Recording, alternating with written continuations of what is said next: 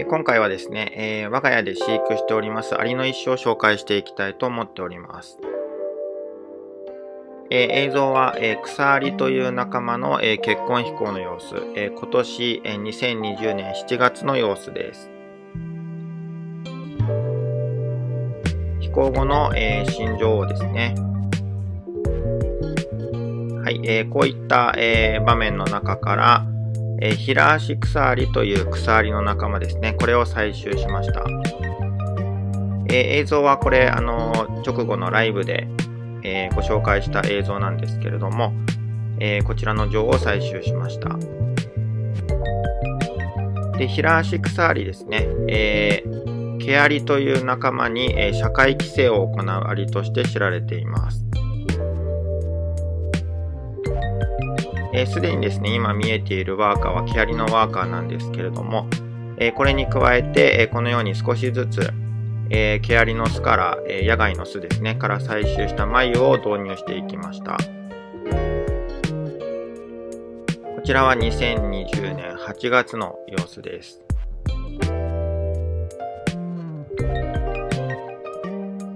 えこちら8月下旬ですね。えー、女王の結婚飛行は7月に行われたんですけれども、えー、1ヶ月と少し、えー、経ちまして、えー、ケアリのワーカーと、えーまあ、馴染んだ、えー、様子です。えー、産卵をすでに、えー、かなりの量、えー、しておりまして、えー、女王の腹部も、えー、採集した時とは比べ物にならないぐらいの、えー、大きさに膨らんでいます。えー、そしてですね、えー、そこから成長していった、えー、幼虫、え、これはもう修例幼虫ですね。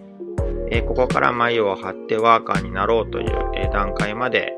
え幼虫が成長しています。こちらは平足鎖の幼虫です。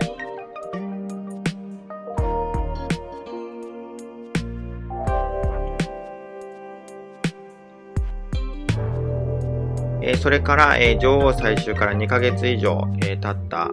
え状態ですね。えー、ヒラシクサアリの女王のもとに、えー、これ周りは毛アリの、えー、ワーカーですけれども、えー、ついにヒラシクサアリのワーカーが誕生しました。えー、ヒラシクサアリなどの、えー、寄生種にとってですね、えー、毛アリという、えー、別の種類のアリに、えーまあ、社会規制ですね、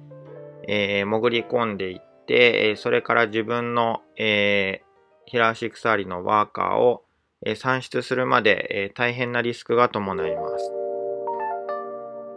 え、もちろん他の種類を、え、まあ騙して紛れ込んでいくので、もしバレたら殺されてしまいますし、え、まあ、そういったリスクを背負っての、えー、コロニー立ち上げという感じになりました。えー、そしてですね、そこから、えー、徐々に徐々に、えー、自分の卵を産んでいって、えまあ、9月に、えようやく自分のワーカーが生まれた感じですね。で、えー、と大きさはですね、えまだまだ小さなワーカーなんですけれども、え下に見えている毛アリに比べて、今中央上に見える、えヒラーシクサリのワーカーは、えー、艶があって、毛アリとは少し違う様子がわかります。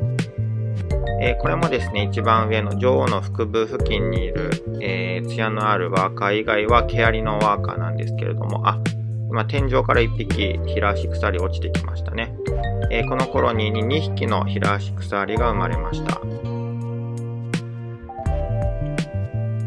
えー、それから飼育している、えー、もう一つのコロニーです。こちらの女王も、えー、腹部が大きくなっていて、えたくさんの卵をすでに産卵しています。えそして周囲には毛アリが、え、まあ、あの、寄生先の毛アリですね。これがたむろしているんですけれども、え、画面、え、右下側にこちらも艶のある、えー、ヒラーシクサアリのワーカーが確認できました。こちらも初めてのワーカーが誕生したようです。でですね、えー、毛アリのワーカーとヒラーシクサアリのワーカーが、えー、何でしょうか、コミュニケーションをとっている。まあ、毛アリがヒラシ鎖の、えー、体をしきりにこう触れてるような感じですね。え、こういった、まあ、コミュニケーションなのか、えそういったものが見られました。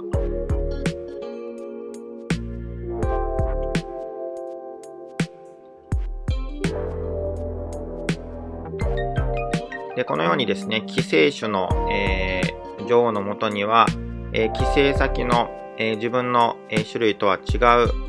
えー、アリのワーカーと、それから自分が生んだ、えー、ワーカー、えー、今回の場合は、えー、今中央上側に見えてます、えー、ヒラシクサアリのワーカーですね。えー、2種が、えー、共存する、えー、世界が、えー、あの現れます。で今見えている幼虫ですね。え、これらはすべてヒラーシクサリのワーカーになりまして、え、これらが成長していくと、え、今見えている毛アリは、え少しずつ寿命で死んでいってしまうんですけれども、えそれに代わってヒラーシクサーリのワーカーが誕生してくるので、え徐々に徐々にコロニーはヒラーシクサーリのみのコロニーへと、えまあ、書き換えられていきます。今見えてるのもこれヒラーシクサーリですかね。はい。えー、頭にあまり毛が生えてないツヤツヤの、えー、ヒラーシクサリですね。はい。まあ、現在はまだヒラーシクサリが生まれたばかりなので、えー、2種が共存したような、えー、興味深い、えー、コロニーの状態になっています。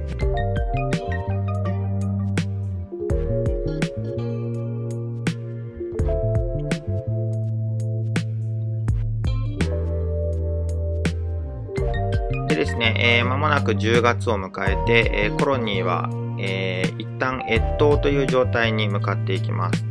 えー、これはですね、アリが、えーま、活動の活性、えー、新陳代謝などを低下させて、えー、冬を越えるというモードになるんですけれども、えー、この間は幼虫がほぼ成長しない、えー、時期になります。今たくさん見えている幼虫たちも、えー、ヒラーシクサリのワーカーとして歩き回るのは来年の春以降になるかと思います。えー、これからですね、このコロニーですと2匹の、えー、ワーカーのみ今生まれた状態なんですけれども、えこのワーカーたちとそれから取り巻きの毛アリのワーカ